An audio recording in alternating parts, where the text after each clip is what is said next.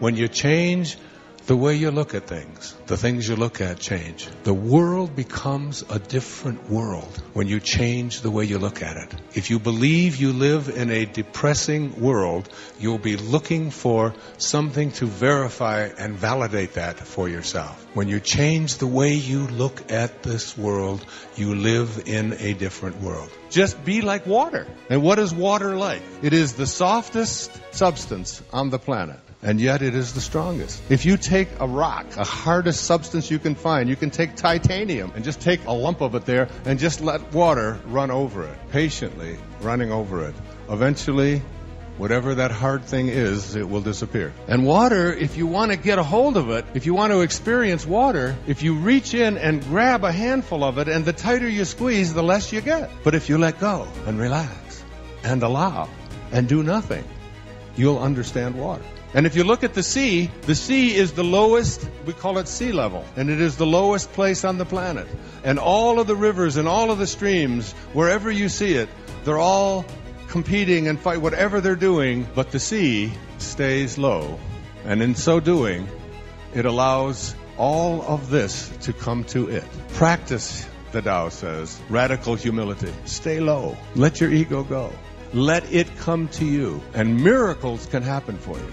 Wayne Dyer was an icon in self development and spiritual growth. He wrote over 40 books with an astonishing 21 New York Times bestsellers. His childhood was spent in orphanages and foster homes, but he'd go on to inspire millions and become known as the father of motivation.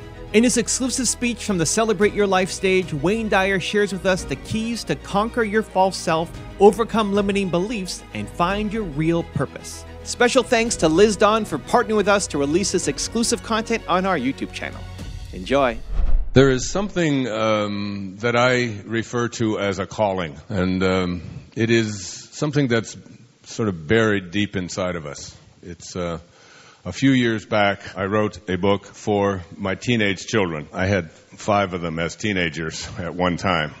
and the book's called 10 Secrets for Success and Inner Peace. And the reason I wrote this was that I wanted my children, after I'm gone, to, if they ever wanted to know what I thought of as the most important ideas uh, that I had ever encountered, I wanted to put them in this little collection here. The second one of these secrets was something that you've probably heard me say if you've listened to me over the years or if you've watched public television. And it's called, it was, I got it from uh, one of the great, great teachers that ever walked on this earth. His name was uh, Leo Tolstoy. He was considered to be the, the father of Russia. In 1905, this was the most famous man on the planet.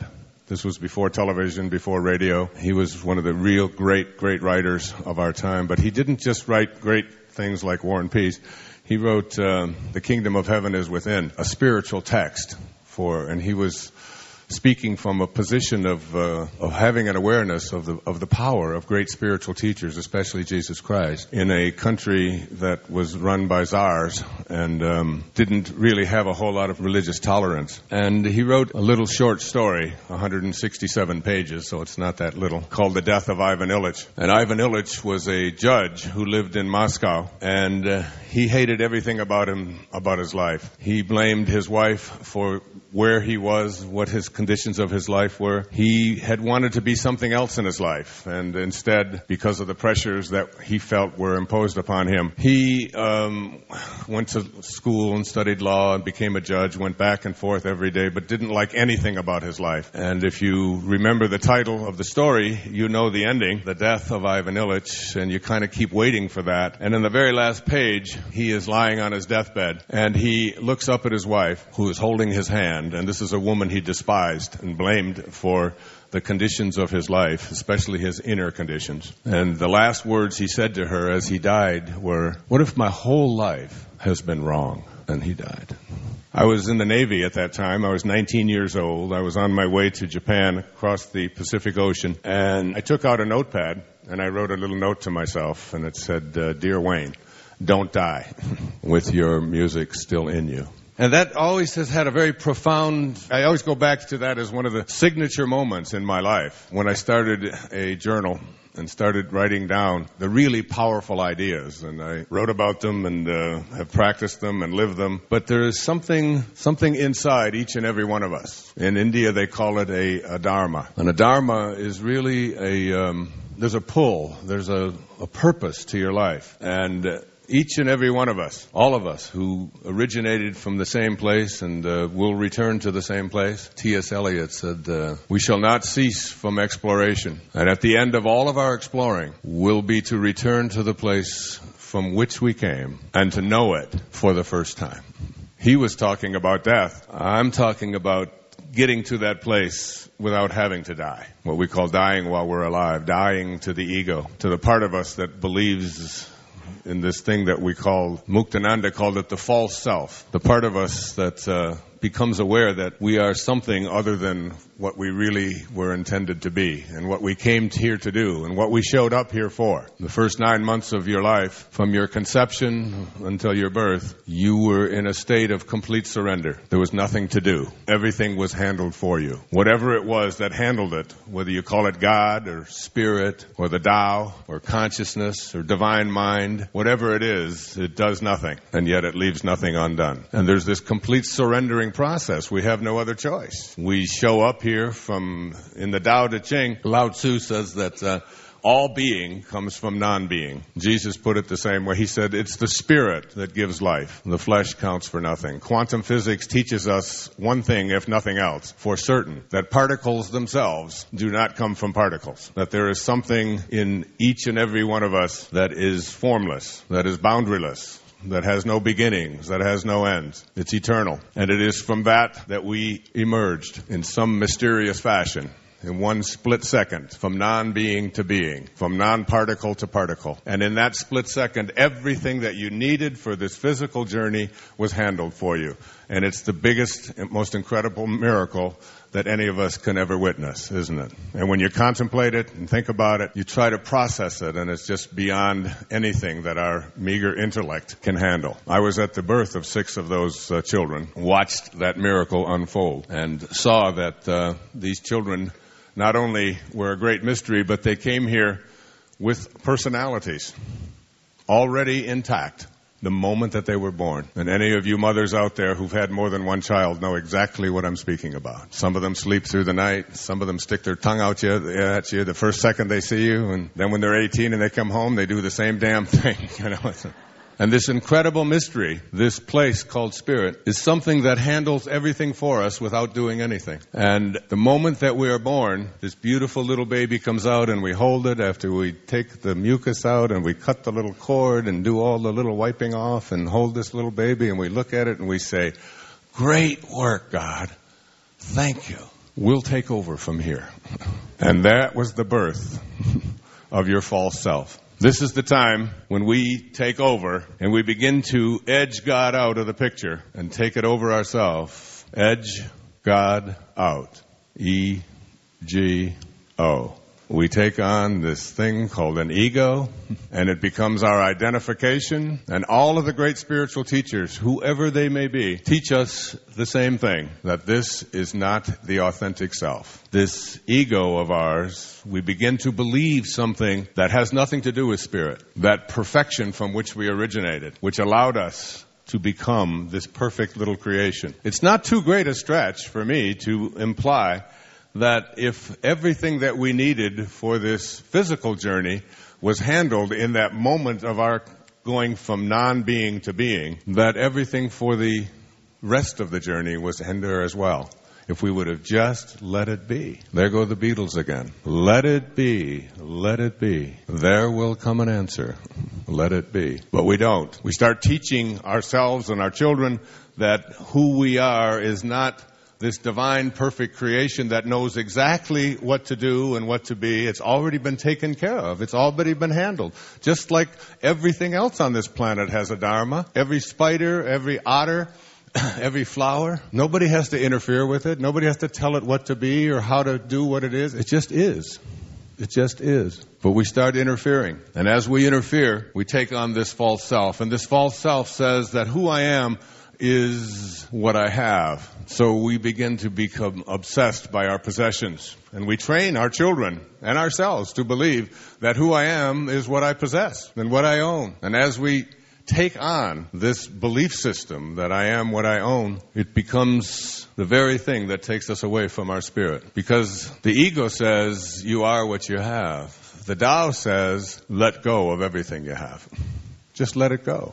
You don't need to own anything. And then we believe also that this false self of ours believes that we are what we do and what we accomplish. And so we spend a big hunk of our life preparing ourselves to achieve, to get ahead of the other guy, to get the good grades, to make more money, to be in competition, to evaluate our worth as human beings on the basis of how we stack up to others and how we achieve. The ego says you are what you do. In the Tao, it teaches us to do nothing, to do less, that more is less and less is more. And to allow yourself to be guided and to know that there's a divine organizing intelligence in this universe and you can let it, Lao Tzu put it this way, he said, let yourself be lived by it. Let yourself be lived by it. He said, you're doing nothing. You're just being done. Let yourself be done. Just like you did in the first nine months. You're doing nothing. You're just being done. And at 68, when I look in the mirror, I can see the same thing happening. I'm just being done. Just try to stop your heart from beating or your fingernails from growing. I used to say, or your hair from growing, but I've mastered that one.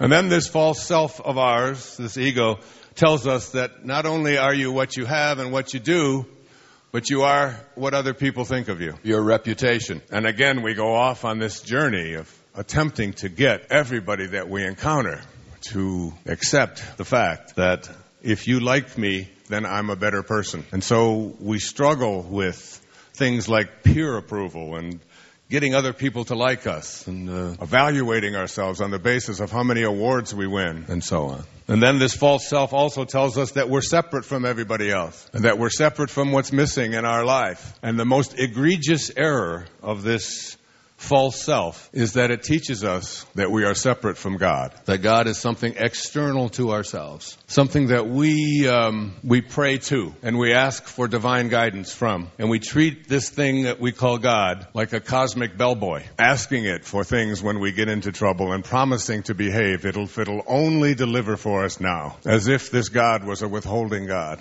and had the power to heal you or to offer you the abundance that is missing in your life, but it's holding it back so that you'll contribute more to whatever organizations believe they represent God. And it's again, it's a false image. And what happened for me at the age of 65, the day after I turned 65, three years ago, is that I was called to do something and live something that I had never even imagined could happen. On the 11th of May, 2005, I called my secretary and um, I called her and I said to her, and I don't know, I didn't know this the day before. I said, I would like you to take everything that I have in my townhouse, which was my office, where I did all of my writing for the previous 25 years, which had over 20,000 books in there and um, all kinds of equipment of all kinds and awards that were on the uh, walls and photographs and uh, furniture and uh, electronic equipment and uh, tax records and uh, whatever you accumulate in a writing space over a quarter of a century. And I told her as I handed her the key to this place, I said, I want you to get rid of it all. She said, Well, tell me which part you want to save. And I said, I don't want to save anything. I want it all to be gone. And she said, And then when it's empty, what would you like me to do with this place? I said, We'll sell it or give it away. And um, that night, someone called about an inquiry about purchasing this place, which was near a hospital in Boca Raton, who needed to be close to a hospital because of an injury he had received. And he said he would really like to have one of these places, which were very, very hard to come by. And he made an offer, and Maya said, well, it's, it's about $50,000 less than what we can get for it. I said, let him have it. And then when you sell it, give the proceeds to my ex-wife. And uh, I left with no clothes, no shoes. Everything that was in there was gone. And I was called to Maui, where I live. And I was called by a man who lived 2,500 years ago in uh, the warring states of China, part of that 93% of when the, we were still at war with each other, villages fighting villages, countries fighting countries, people conquering each other, enslaving each other. And uh, this man who lived at that time, his name was Lao Tzu, which in Chinese means old man, and asked me to, in my meditations it kept coming up over and over again, to immerse myself into the uh, this ancient book called the Tao Te Ching. T A O T E C H I N G. T A O, Tao means the great way. T E, in ancient Chinese, means the virtues of. Ching means book. So the book of living the virtues of the great way. 81 verses. Some call it the wisest book ever written. It came down to us with over 14,000 different translations in the last 2,500 years. Modern, ancient, all the different languages, 14,000 different interpretations of this classic text that he jotted down. In fact, he didn't even write it. He dictated it to the gatekeeper as he got on his oxen legend tells us. And he came to the gate where he said, I can no longer live amongst these warring states and these warring peoples. I am a man of peace. And the gatekeeper wouldn't let him leave, legend tells us, unless he told him in words the great wisdom that he had been telling people who had been coming to him for many, many, many years, including a man named Confucius who was 40 years his junior, who came to him for advice. He was a contemporary of Buddha, just a, a, a little ways away from there. And Socrates and um, Zoroaster and some of the greatest spiritual teachers who all walked among us in that fifth century before Christ. Someone sent me a book when I was working on this called Lao Tzu and Jesus. And on the left hand side of the page were the teachings of Jesus, and on the right side were the teachings of Lao Tzu. And now I'm not saying that Jesus was copying or plagiarizing, since he came 500 years later but I know there's no time, so all of that is meaningless. But they're almost identical because the great spiritual teachers who walked among us only have one message for us. And in these 81 verses, which you could read in about an hour, but you can study for a lifetime. I had a teacher in India back in the 80s. His name was Nisargadatta Maharaj. And Nisargadatta had a book written about him by his devotees, just like Lao Tzu did. It was called I Am That. And I remember him saying to us that you don't have to read this book. He said, just carry it with you. And the wisdom from the pages will come to you because there's energy in everything. You don't even have to look into it if you don't want to. And if you need to, you'll be guided to. And now that was uh, a while back. I was in my early 40s, and I just thought, well, this is just another one of those crazy gurus over there in India. and I didn't understand that until I became familiar with some of Hawkins' work on energy. So I created my own translation of the Tao from bringing them with me and going through the ones that seemed to be most relevant, the ones that were most understandable, and we put it into a paperback with an affirmation next to each one of them. And I now understand what he meant, and I do this now. I carry it with me wherever I go. The entire Tao, and it always guides me. The Tao has impeccable wisdom in it. The opening line of the Tao says, The Tao that can be named is not the Tao. The minute that you put a label on it, you have now divided it into two.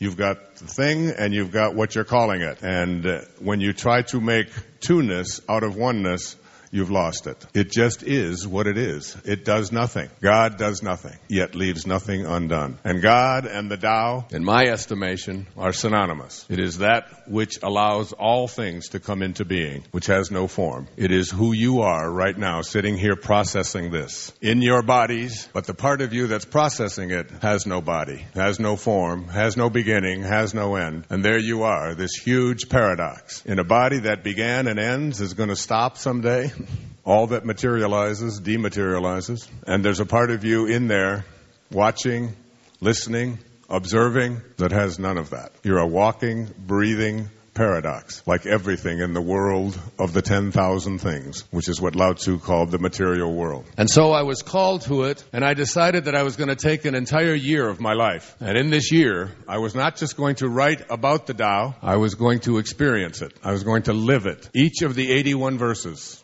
And I called my publicist and my publisher and all of those people who schedule me and do things to me, direct me here and there, and told them that I was taking the year of 2006 to be essentially free of that. And there are 81 verses, and if you take 365 days and you divide it by 81, it comes up to about four and a half. So for four and a half days, I had the opportunity to experience verse one of the Tao. What it meant, meditating on it, practicing it wherever I could go, living it, memorizing it, constantly referring to it, taking notes on it, talking about it, but more than anything, attempting to live it and to practice it. And this was a calling. This was a calling that said, Wayne, you have music to play, and just because you're 65 years old, or 66 then, doesn't mean anything because there is no time. And so when you read the Tao, Lao Tzu's great tome on eternal wisdom. So much of it is paradoxical. So much of it doesn't make sense to our intellect. So much of it we want to reject,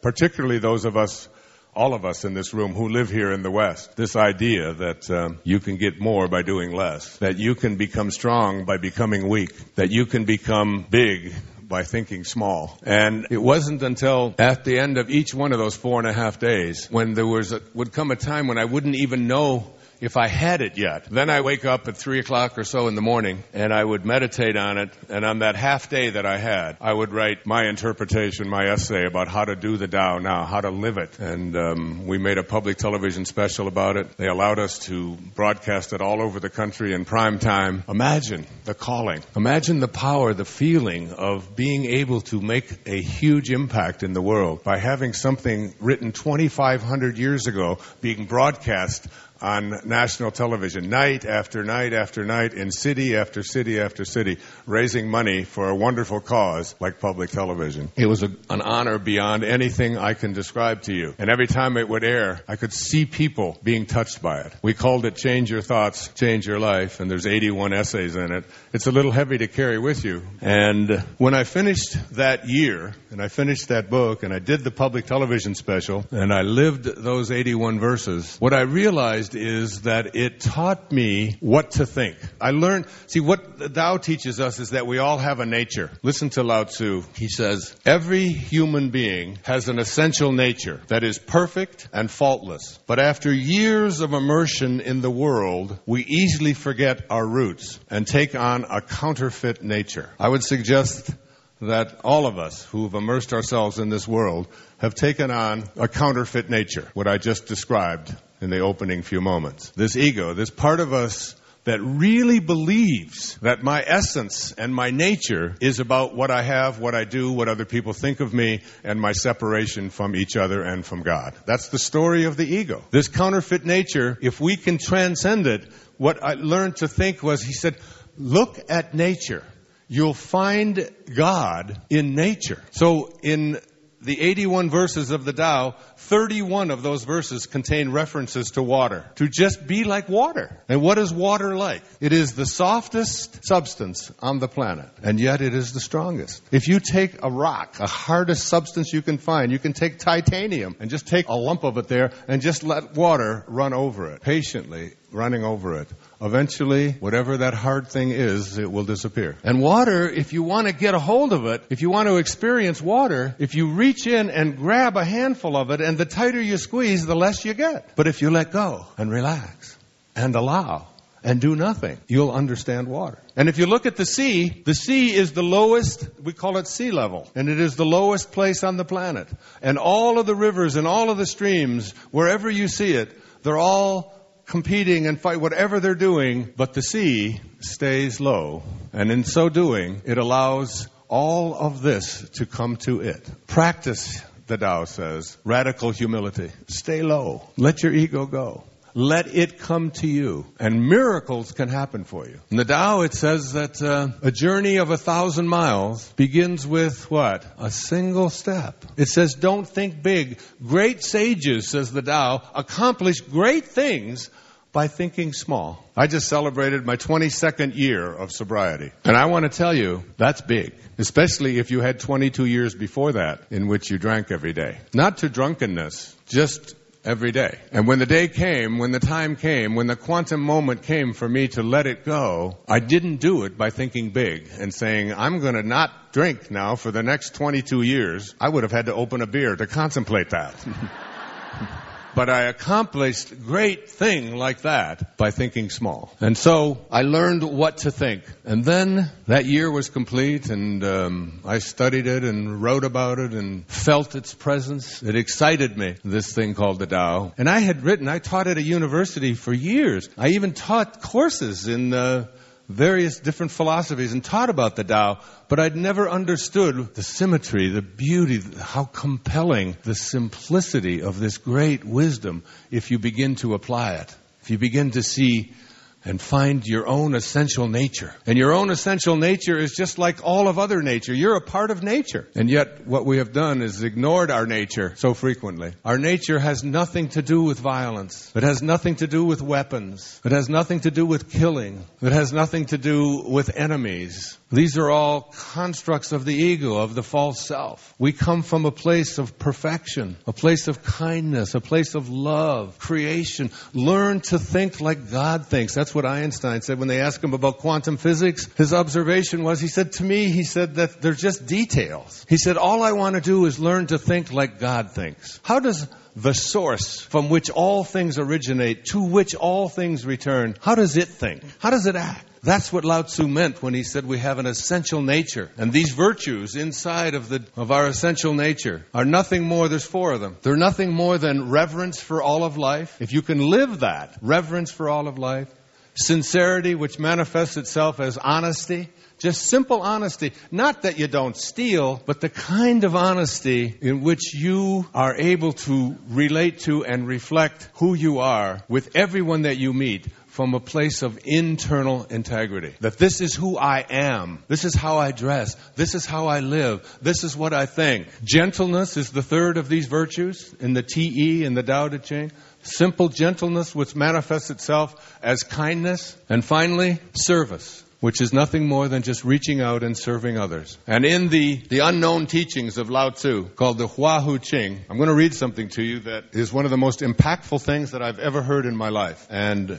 I'd like you to really think about it big time. Many of you know about something that was, that raged across the country a, a year or so ago called The Secret. And it had some great lessons in it about the power of our thoughts to align with the thoughts of God, and in doing so, to be able to manifest and attract into our lives what we would like. And I was asked to be a part of that, and I turned it down because I think they missed something. They missed what I'm about to share with you. In fact, yesterday, yesterday for the very first time, I was able to preview something that I undertook this summer at the age of 68 when I was asked if I would do a a film, a movie for movie theaters, not a talking heads movie, not a movie which I'm just interviewed and talking like I'm doing now, but an actual film with uh, real people in it, 92 of them to be exact starring Portia de Rossi, who is Ellen DeGeneres' spouse. And uh, I had the great honor on the 16th of August this year when they both asked me in their quiet, cutest way you've ever seen at Ellen's home if I would marry them. And I did. We were in the midst of filming this movie called Ambition to Meaning. I saw it yesterday, the first rough cut for the whole thing, and watched it with Maya in my room here at the hotel. And Maya was sobbing and couldn't contain her enthusiasm. It just, it absolutely absolutely blew me away. You'll be able to see it in January. It's a little over two hours, and it's a drama. And it takes what I think was missing from The Secret and puts it into three concurrent running stories and teaches people that this idea of aligning ourselves with our spirit, with God, is not about what's in it for us. It's not about saying, I want this or I want that. And it's not about selfishness and it's not about attracting into your life more of the stuff of the ego. It's about something very different. And this is how Lao Tzu put it in the oral teachings of the 81 verses of the Tao Te Ching. If you wish to become a divine immortal angel, then restore the angelic qualities of your being through virtue and service. This is the only way to gain the attention of the immortals who teach the methods of energy enhancement and integration that are necessary to reach the divine realm. If you want to reach the divine realm, if you want to know God, not about God, if you want to experience the opportunity to think like the source, like the Tao, like God thinks, and have all that is possible to come into your life come into it, then listen on. These angelic teachers, this energy, this spiritual force, this guidance, these angels, whatever you want to call that guidance that comes to us from beyond, these angelic teachers that you seek out cannot be sought out. It is they who seek out the students. Do I ever know that to be true? Especially after giving up everything that I owned, everything, and letting it all go, and immersing myself for a year of my life in this process. When you succeed in connecting your energy with the divine realm through high awareness and the practice of undiscriminating virtue, the transmission of the ultimate subtle truths will follow. This is the path that all angels take to the divine realm. This is the path. The mystical techniques for achieving immortality, that is, the ability to manifest and attract into your life at any moment anything at all that you would desire, are revealed only to those who have dissolved all ties to the gross worldly realm of duality, conflict, and dogma. You have to dissolve your ties to this false self and the world that perpetuates it. As long as your shallow worldly ambitions exist, the door will not open. And that's what I think the secret missed. And that's what we tried to do in Ambition to Meaning. It's to get to that TE in the Tao Te Ching, to get to that place where you live and practice the virtues that I just described. Reverence for all of life. Just simple, never ever not only not killing other things, including animals and even plants and each other, but in not even judging each other. Patanjali, another great teacher from India, three centuries before Christ, said that when you are steadfast, steadfast means you never slip. When you are steadfast in your abstention of thoughts of harm directed towards yourself and others, that all living creatures will cease to feel fear in your presence. Such was the nature of St. Francis, of Jesus, of Nazareth, of Lao Tzu, of Buddha. You are steadfast. You never slip in your abstention of thoughts of harm directed towards yourself and others that all living creatures will cease to feel fear in your presence. There are people who, when they are in the presence of wild animals, they become tame. Babies stop crying. You see a person like that walk into the room and the energy of the room changes and you feel comfortable and you feel safe and you get a kundalini running up and down your back of just like having a warm shower running inside of you. Such is the nature of these people, and such is the nature of the source from which you originated and to which you will return. In A Course in Miracles, there's a line that Jesus says for those who believe that it was Jesus, and many do, whoever it was. Jesus says, If you want to be like me, knowing that we are alike, I will help you. If you want to be different than me, I will wait until you change your mind. And you will change your mind. You may have to die to do it, but you will change your mind. Because that's the place from which we originated that T.S. Eliot spoke about, where you'll come to know it for the first time. When you live those simple virtues of reverence for all of life, never judging others, natural sincerity, just a simple honesty, this is who I am, gentleness, which is just always extending kindness, and service. It's dissolving your ties to the gross worldly realm, just letting go of that. And one of the best ways to do it is to want less, to expect nothing for yourself. And anything that does come to you, to just let it flow, to give it away. And the more of that that you do, the more you act like God acts. The great poet Hafiz, the Persian poet from the 13th century, said, even after all this time, the sun never says to the earth, you owe me. Just think what a love like that can do. It lights up the whole world. And there's such a mystery in that that we attempted to convey in this film. And I'm still so taken by the incredible acting job and the directors and all of the people who participated in this project of creating a, a film, a movie, an opportunity for people to finally see that it is through these virtues that the doors begin to open into your life. And abundance, I'm telling you, I would urge you to not pay attention to all of the all of the stuff on CNBC, which is all of the financial disaster possibilities. And checking your stock market and checking your 401ks and check and listening to the horror stories of all of the things that and the collapse the imminent collapse of our entire you don't need any of this. Where do you think you're going? You came from nowhere. N o w h e r e. That's where you came from nowhere Where do you think you're headed? You went from nowhere to now here in a split second. And it's the same thing. N-O-W-H-E-R-E. It's just a little question of spacing. Nowhere. Now here. Here we are in now here. Where do you think your next step is? Nowhere. you don't need a 401k. You don't need to be consumed with all of this stuff about money. This is, you know, when, when, when we did this thing on ambition to meaning, I had a real sense as I listened to the results of the election that we can, as a people, we can also move from ambition to meaning. As a people, not just in our own lives, because in the morning of our lives, you know, there's a, a line from uh, Carl Jung in The Stages of Life, which is really what we opened this film with. He says, Thoroughly unprepared, we take the step into the afternoon of life. Worse still, we take this step with the false presupposition that the truths and ideas will serve as hitherto. But we said, he said, we cannot live the afternoon of life according to the program of life's morning. For what was great in the morning will be little at evening, and what in the morning was true will at evening have become a lie. If you try to run the time of your life when you are in the phase of meaning rather than ambition, based upon the program of what you taught, were taught in the morning about ambition and about ego, you're going to be living a lie. Hi there. My name is Liz Dawn, and I am the co creator of Celebrate Your Life events. And I hope you're loving this amazing workshop with the late and great Dr. Wayne Dyer. This was recorded live at one of our Celebrate Your Life conferences.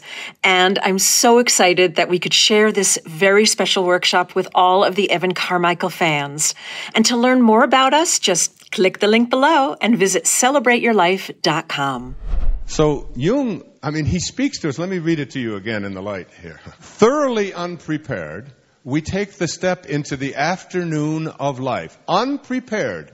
Into the, the afternoon of life is the time in your life when you shift from ambition and ego development to meaning. Worse still, he said, we take this step with the false presupposition that our truths and ideas that we learned in the morning will serve us as hitherto. But we cannot live the afternoon of life according to the program of life's morning. For what was great in the morning will be little at evening. And what in the morning was true will at evening have become a lie. If you're trying to find meaning and purpose and fulfillment and joy and peace and happiness in the afternoon of your life, if you're trying to have that and to have that for other people and to want it for others even more than you want it for yourself, you can't do that according to the program of the ego. You can't do that. The door will not open as long as you're connected to that. The doors begin to open as you lose your identity with this false self. As you let it go, as they say in the recovery movement,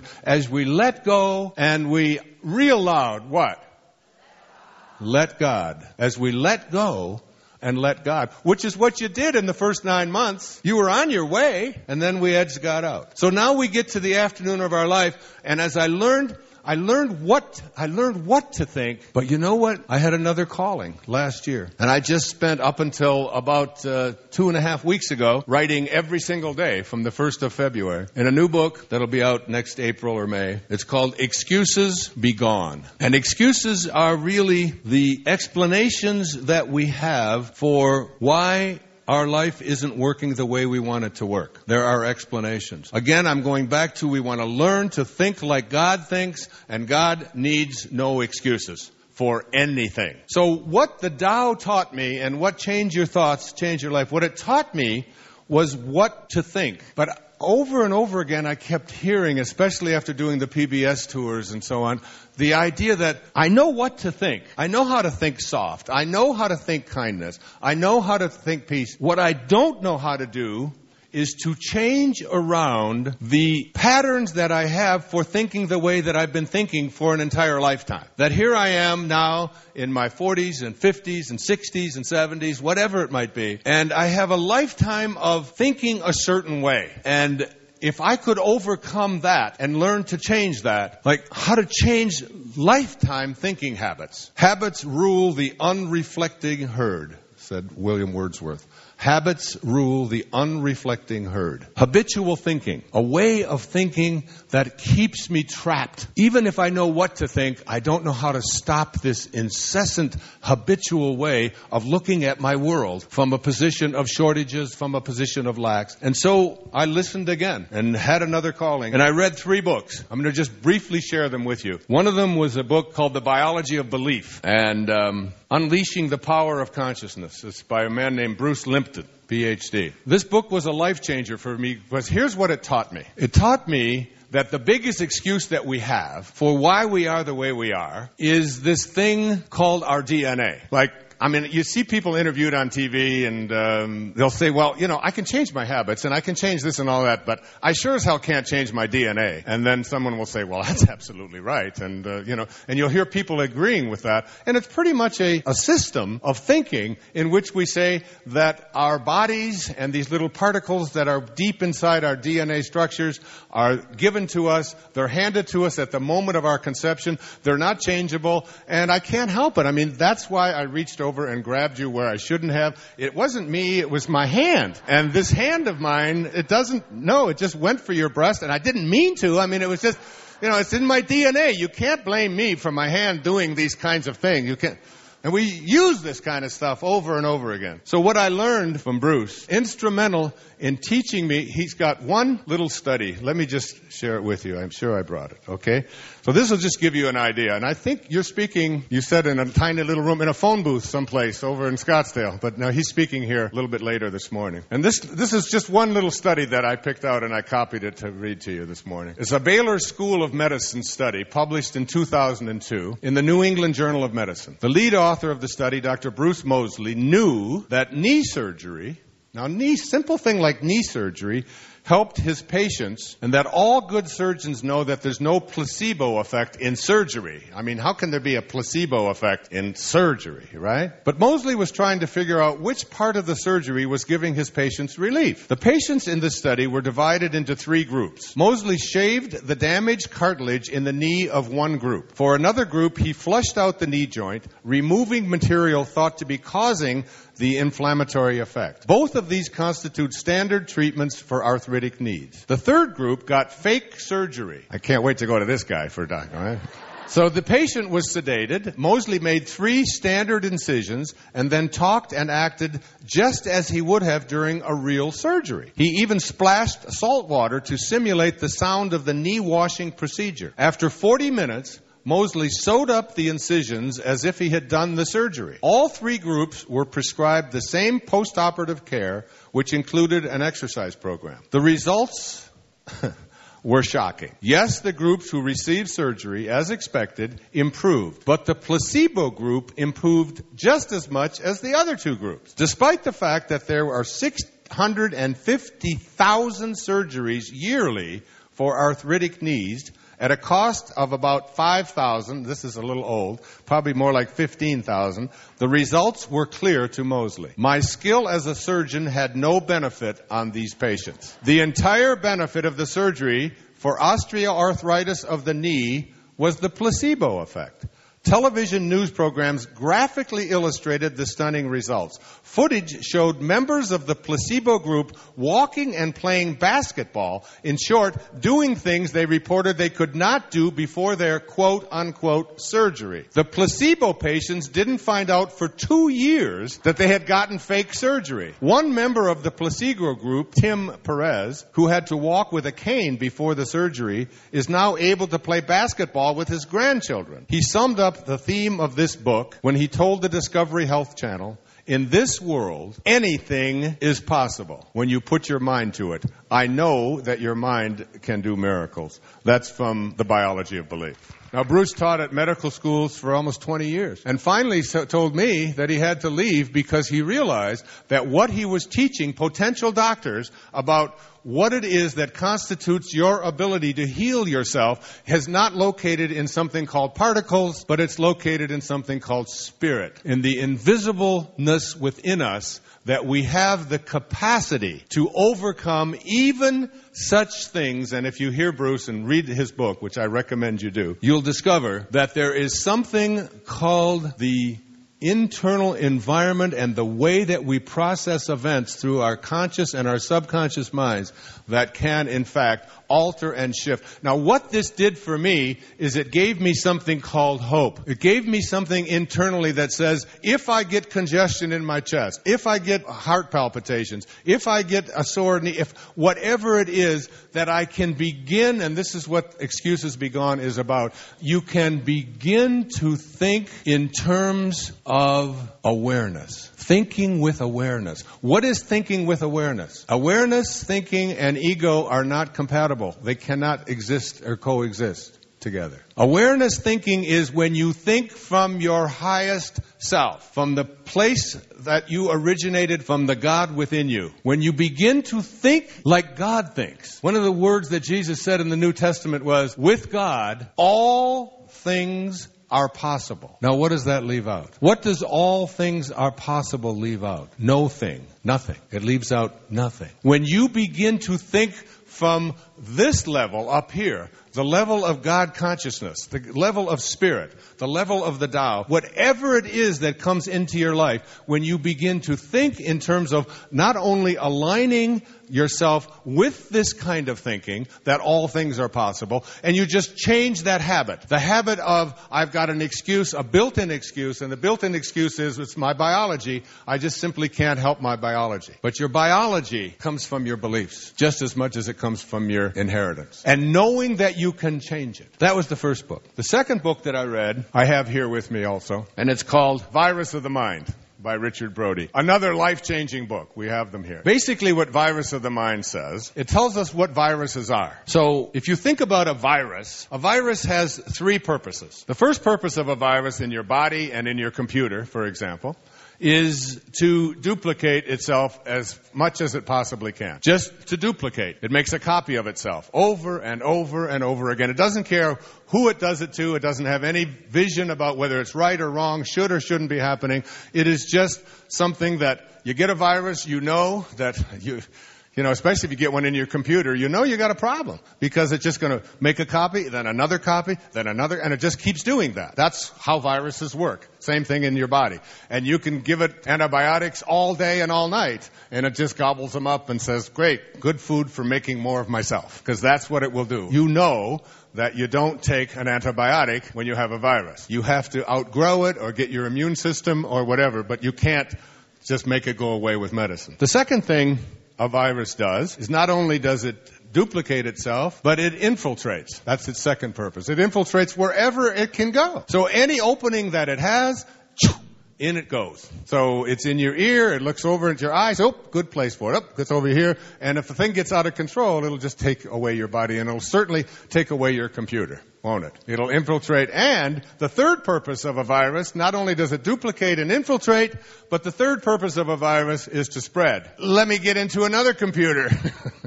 There's another body I can get into, and off this thing goes, making copies of itself, infiltrating wherever it can go, and spreading wherever it can go. Viruses of the mind work exactly the same way, except that there are no little tiny, infinitely small particles, little viral particles there's nothing there. There's no thing there. Viruses of the mind come from ideas. And a virus of the mind is an idea that has been placed into your mind from another mind. And its purpose is to do exactly what I just described. To duplicate, to infiltrate, and to spread. And you are filled with these viruses of the mind. There are umpteen of them. And they're all called excuses. And these excuses are beliefs that you have had handed to you from well-meaning people who said, we'll take over from here, and off you go, believing that certain kinds of things that happen in your world are happening because there's nothing you can do about it, because this is your truth. And these, the basic building block of genetics is called a gene. The building block of memetics, memetics, which comes from the word mimic, which means to copy, to notice what somebody else is doing and doing it, is called a meme. M-E-M-E. And this is the science of the meme. This book was another life-changing kind of, and it really gave me the impetus, the idea to write about not just what to think, but how to change these lifelong thinking habits. So I'd like all of you in this room to think for a moment about something about yourself, whether you've been overweight for your entire lifetime, whether you've struggled with addictions of one kind or another for a lifetime, and you've tried all of the different kinds of things that you come up with, and still you find yourself struggling with I can't, I just can't overcome it. I just can't change it. I've been this way, it doesn't work. And what I have done is I have created, I didn't even do it. I'm telling you, this was Lao Tzu at work in my life. Because I was doing my radio show that I do every Monday on hayhouseradio.com and people call in from all over the world. And someone called in and said that she had channeled, because of what I had written about in Change Your Thoughts, Change Your Life, she had channeled a drawing of Lao Tzu. Now, no one has really, we don't even have any pictures of Lao Tzu. We just have people imagining what Lao Tzu must have looked like. And she had this beautiful drawing and she sent it to me. And as soon as I opened it up, I said, "Oh my God!" It was, uh, it just, it was, it spoke to me. It sits there in my writing space, and I look at it, and every time I do, and then I get quiet, it's like whatever I need, just I put my hand out. So I don't use computers. Um, I, I write everything by hand, and I just put my arm on the table, and it just starts coming through me. It's I call it automatic writing. It's when you really let go and let God. When you really understand that even the speech that I'm giving right now and these words that are coming from someplace, I have no idea where, into me and through and into this little instrument I'm hearing and coming out to you, I don't own any of this stuff. I just, I just let it come. I just trust in it and I know that if I stay true to those four virtues and just live from that perspective, that whatever I need will be there. So I don't get to own any of it. And I feel that way, and I felt that way particularly as I was writing Excuses Be Gone. And it was Lao Tzu and that great teaching that was coming to me that basically said, I will give you a paradigm for change to help people to overcome a lifetime of thinking habits. Now, these memes that were placed into your mind, I wrote out 18 of them. If you're thinking about changing something about yourself, anything at all, even the fact that you haven't been able to manifest prosperity or the right kind of relationships or, you know, overcome uh, illnesses or not do some athletic event, whatever it might be, something that you have been unable to do. These are the memes. At any rate, the year before, I started just thinking about this paradigm and we had a woman there, her name was Suzanne, and she's from uh, Toronto, actually from London, Ontario. And she had binged and purged for 22 years without missing a day. She looked like death walking. Hollow eyes, sallow skin, sadness, a shaking, a quivering whenever she was brilliant very intelligent woman, binging and purging every day for 22 years. And we ran her through the paradigm in 40 minutes in front of 600 people. And when we were there on October the 27th, she celebrated her one year anniversary of not binging and purging. She did it in 40 minutes. That's how powerful what I'm talking about is. In excuses be gone. And here are a few of these excuses that we use, none of which measure up and hold any truth. It will be difficult if I want to change. That's a meme. The idea that if you've had a habituated way of thinking and being and behaving, if you've had it for a lifetime, one of the things that you'll hear people say, they say it all the time, is it's going to be difficult to change that. Second one is that it will be risky. A third is that it will take a long time for me to change. That there will be family drama. These are all memes. That I don't deserve it. That it's not my nature. That I can't afford it. That no one will help me. That it's never happened before. That I'm not strong enough. That I'm not smart enough. That I'm too old or I'm too young. I thought of that one when they asked me to do a film, which meant giving up a month of my life and doing 14 and 16 hour days from 7 in the morning till 9, 10 at night, sometimes staying up all night, filming and refilming and refilming and refilming. And it's, and you don't just do a, uh, you know, to get one minute on the screen might take four hours easily. And to put myself through that and to take direction and to be told what to say and how to say it and where to stand and what the shadows are and to just give it all up and just surrender to it and say, I'm willing to do that. I'm willing to take on something I've never done before and just let it happen in the name of creating something that can transform the world. Are you willing? And I said, yes. And I remember how I surrendered as we went to, we filmed out in a place called Asilomar in, uh, just south of uh, Monterey, California for an entire month. It's like to let go of the meme that I'm too old to do something like that, that I can't change, that it's not something that I could do. You just let go of those. That the rules won't let me, that it's too big, that I don't have the energy, that my family history won't allow it, that I'm too busy, that I'm scared. All of these and many, many, many more. All of these are none of the things that God does. The Tao needs no excuses. God needs no excuses whatsoever.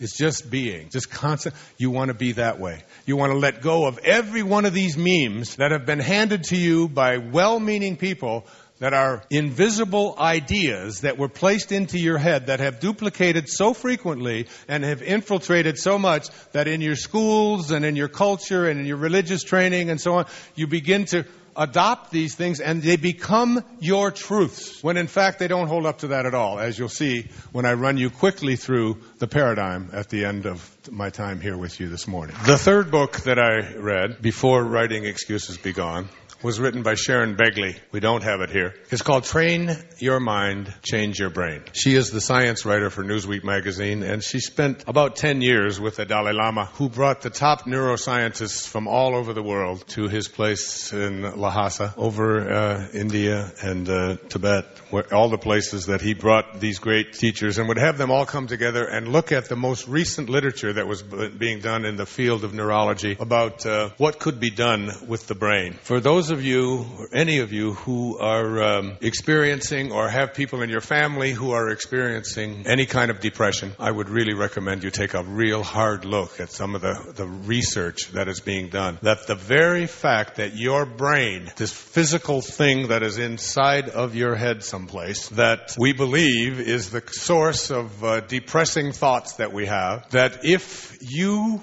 understand that it isn't necessary to be taking medicine all the time to rearrange the circuitry of your brain, which is what these uh, antidepressant medicines really do. They really stimulate the formation of serotonin which is the feel good enzyme in the brain, isn't it? It's like the more serotonin we have, the better that we feel. And what they're discovering is that when they train people to think about how they think, in other words, very often a person who suffers from depression of any kind, and it doesn't have to be clinical depression, it can be depressing thoughts that you have at any moment. Like, you know, you dropped a vitamin on the floor, and like that happened to me the other day, and it just frigging disappeared. It was just, it's just gone. It just disappeared. And I was on the floor looking down with my eyes this way, that way, under the, pulling the carpet up, and it's just gone. And that's depressing. I mean, uh, where the hell, how could it just, it just went from here to there.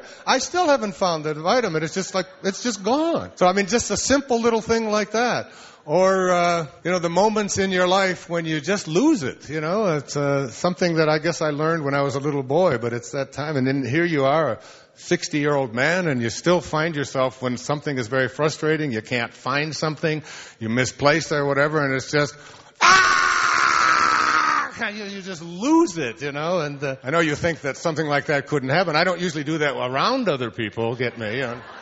But all alone in my room and there's nobody there. There's nothing like uh, just letting one of those out. I can't take it. Where is it? And then you come back and you remind yourself that you're a spiritual master and that uh, you're a prophet and. Uh, or if it's clinical depression or whatever it is, that when instead of thinking what we're doing now with patients who have this, instead of saying, okay, here's a Zoloft, here's uh, some kind of a drug that we're going to give you, and we're going to rearrange the synapses of your brain so that it works differently. And most of the time, we don't even know what's going on inside the brain when we, we dispense these. You know, the field of psychiatry has basically become a drug peddling field. It really has. Almost people go now to psychiatrists psychiatric uh, treatment, basically to get uh, some kind of, of a drug to take so that their life will get better. All of the things that we were so consumed with. The Dalai Lama said if we could take every child in the world, every child in the world, at the age of five, and have them meditate on compassion for one hour a week, we could eliminate all violence and depression on this planet in one generation. Can you imagine? One generation. Just thinking compassion, thinking about others. And one of the things that they taught in Train Your Mind, Change Your Brain, which has a lot of you know, it's it's a little tougher read than what I've been talking to you about, but it's um, the scientific evidence in there is so clear that when a person is about to be depressed and they do an MRI and they'll look at the brain and they'll see the chemistry of the brain, there'll be a picture of it. Then they train them to think a thought like thinking of a moment in their life when they felt loved, just like kinesiology, a moment in your life when you knew that you were as happy as you could be. And you train that person to just move them and say to themselves, instead of saying, okay, here comes my depression and it's going to get worse, instead of that, saying instead, there goes my brain misfiring again and I am going to not be a part of it. I'm going to step outside. I'm going to watch it. And as I watch it, I am going to think a thought of a moment in my life when I felt good. I felt loved. I felt content. I felt happy. And then they train the person to put their thoughts on that, and then they do the MRI again, and they look at it, and now you've got a side by side view of the brain, and the brain has changed. The chemistry of the brain literally changes. You know, I said it in Power of Intention, I said it in all of my talks. When you change the way you look at things, the things you look at change. The world becomes a different world when you change the way you look at it. If you believe you live in a depressing world, you'll be looking for something to verify and validate that for yourself. When you change the way you look at this world, you live in a different world. So I would recommend you look at that. Now, in the last 10 minutes or so, I'd like to go through this paradigm rather quickly. Each one of these questions is a chapter in Excuses Begone. And that's the third part. The first part talks about Bruce's book and talks about the three books that I've mentioned Virus of the Mind, Change Your Brain. And then the middle part of the book really looks at the principles that are involved thinking with awareness, thinking in terms of alignment, thinking passion, thinking compassion. And then this paradigm, which was given to me by my ancient spiritual friend who I can still see walking out of the villages where they were everybody was going to continue the warring states to live in peace in his final days, Lao Tzu. So the first of these questions is the most important. The question is, is it true? And as you listen to this paradigm, I'd like you to just really be thinking about not just yourself and the people in your immediate family, but think about our children. So the first question, let's take the excuse, it's going to take a long time, it's going to be difficult, because that's the one, particularly for those of you who have suffered with uh, physical maladies, who have suffered with being overweight, who've suffered with not having enough prosperity into your life. I'd like you to just think about the question, is it true? Is the thought that it's going to be difficult to change change true. And I'd like to work with someone to do that, but because of time constraints, I can't. So the question of is it true? The fact is that you think approximately, they say, for those who engage in these accounting practices, about 60,000 thoughts, separate thoughts, every single day. The problem with it is that you're going to think the same 60,000 thoughts today that you did yesterday and again tomorrow. And the real problem with this is about 59,950 of them are not true. They're just memes. They're things, they're viruses that have been planted into your mind to believe that it's going to be difficult. If you think that it's going to be difficult to change and you're really convinced of that, I put you through this in the paradigm and in the therapy, which is can you be 100% certain that it's going to be difficult and it's going to take a long time and there's going to be family drama if you were to do what you want to do? Can you be 100% certain that those things are true? The answer to that is no. You can never be 100% certain. So now you have a potential thought that something is going to be difficult. And if you know that it may or may not be true, even if you're absolutely convinced that it's 100% true, but then you start thinking about it, you say, well, I can never be sure 100% that it's going to be true. Then you say to yourself, I have the option to think a thought which may or may not be true. The first thought, if I think it's going to be difficult, is going to lead me away from where I would like to be. The second thought, which also may or may not be true, is going to lead me to where I want to be. Which one of those thoughts, which may or may not be true, would you elect to take? This is what I was taught by Lao Tzu. That if you have a choice to think a thought that may or may not be true, why not pick the one that will lead you to where you would want to be? So what is the reverse thought of it's going to be difficult. It's going to be easy or it's not going to be difficult. So now you have that choice and you begin to take that thought. I'm too old. It may or may not be true. I'm too young. It may or I'm not smart enough. It may. Now eh, you begin to work this paradigm this way that every time you have a thought about something which constitutes an excuse, which is nothing more than a meme, then you begin to reverse it and you begin to make the shift. And as you make that shift, you start thinking thoughts that may or may not be true, but always will lead you closer to where you want to be. So that's the first question. Is it true? The second question is, and again, remember, each of these are a chapter and I spent a month on each one of these. Where did it come from? Where did the thought that I can't make something happen, I can't create prosperity, I can't create health in my life, where did that thought come from? The answer to this question, the short answer to this question is, it came from me. It came from myself. I chose it. It was the way, even though I was a child and it was handed to me and it was imposed upon me, there were other children around me who had the same kinds of things imposed upon them and they didn't buy into the same excuse that I'm buying into. You take responsibility for everything. Someone asked me in the back, what about if you have cancer? What about if you have something that has come to you and you can't overcome that? Do I take responsibility for that? The answer to that is yes. It's not about blame. It's not about karmic paybacks. It's about saying, I have been a vibrational match to what I have attracted into my life. I'm not guilty for it. I didn't do anything wrong, but it is mine because the reason, as I told the gentleman, the reason that you do that is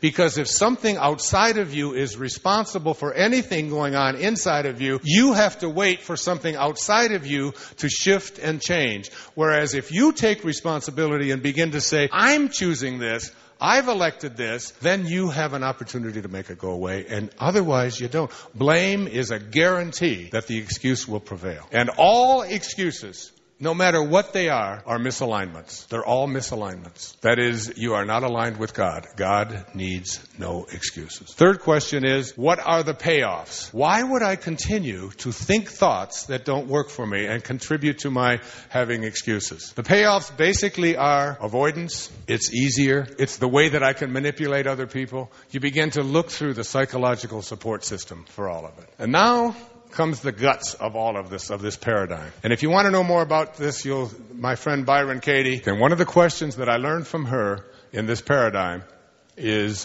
what would my life look like if I couldn't think the thought that it's going to be difficult. And when I asked Suzanne, who was going through her first day of not binging and purging, what would your life look like if you couldn't think that this was going to take a long time? If you couldn't think it was going to be difficult? If you couldn't think that you didn't have the ability to change? What if you couldn't think that thought. Without that excuse, everybody always says, if I couldn't think it, I would feel free. I would be free. And that's the freedom that comes to it. The fifth question is, can I create a rational reason to change? My son Sands, who's 21 years old, has a habit, a bad one according to him. He can't get up in the morning. He sleeps till noon, one o'clock, two o'clock every day. He can't get over it. He said, Dad, I said, I, I just can't. I'm just too damn tired. I mean, I just, my eyes, I just can't get up and I can't, and I go to bed. Let it doesn't matter what time I go to bed, I have to sleep. So for his 21st birthday, we gave him a trip to Indonesia. He loves to surf.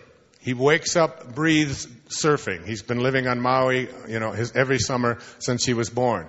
At four years of age, I gave him a surfboard and he went out and paddled out and rode it all the way in at the age of four. He breathes surfing. He has surfing magazines. He gets up, uh, you know, and does his surf. So for going to Indonesia, he went down to Indonesia and they, he went on a boat for 10 days to get the best surf that you can find. And they have all these machines and they find out where the waves are and he's up, he's up every morning at five o'clock. Five o'clock and he surfs all day. They go to these waves, they go to that island, they're doing all of these things, and then comes back, gets back at 10 o'clock at night, sleeps, you know, for a couple of, up at 4 the next morning because they've got to, never complains during the whole time because he had a rational reason to change. When I was in junior high school, I was in love with Erlene, and she uh, boarded the bus a block away from me, and I found out that she boarded the bus at uh, 7 o'clock every morning, and I couldn't get up either until I found out that Erlene was getting on the bus stop at 7 a.m. I was up at 6 getting ready with my uh, cream. I had a I had a big wave and you know and all of and my old spice, what I would slap on me and walk down there and just hope that she would notice me because when I had a rational reason to change, do you have a rational reason to change any of these habits in your life? Create one and then follow the paradigm. The seventh is can I access universal cooperation in shedding old habits. All you have to do is live the virtues, and you access divine cooperation by living the virtues. And finally, how do I continuously reinforce this new way of being. You get quiet, you meditate, you do yoga, you do the kinds of things that I spell out. I'd like to close. There was a woman, an old woman, who lived by the bank of a river in Nepal. And she was a saint by all means. She carried with her a little container where she kept dried pieces of bread. And one day she found a precious stone. And the stone was so precious that she knew that if she kept it, that she would have everything that she could ever want for the rest of her life. Such was its value, this huge piece of this precious stone. And one day a man came walking by the riverbank where she lived, and he asked if she had any bread or anything to eat because he was hungry. And she opened her little bag and she reached in and she gave him some bread. And as he noticed the bag, he noticed inside was this beautiful, shining, precious stone that was his guaranteed security for the rest of his life. And he said, I'd like to have that precious stone, please. And she said, Here, if you'd like it, you can have it. And she gave it to him. And he left, feeling as if he now was taken care of, as if it was a divine intervention. The next day, he returned to the woman and he said to her, I'm going to give you back this stone. He said, But I'd like to give, have you give me something even more precious than that stone. And she said, What would that be? He said, Whatever you have inside of you that allowed you to give me that stone, I'd like you to give to me. In every moment of your life you have a choice. And here it is. You can either be a host to God or a hostage to your ego, to that false self. It's your choice. God bless you. And thank you for coming today. To watch another amazing Wayne Dyer video, check it out right there next to me. I think you'll love it. Continue to believe, I'll see you there. You say whatever it is that you would like to attract into your life a great job, a great relationship, a body that is in perfect health, whatever it might be. Write it down. Put it in words. Whatever you would like to manifest, whatever it might be.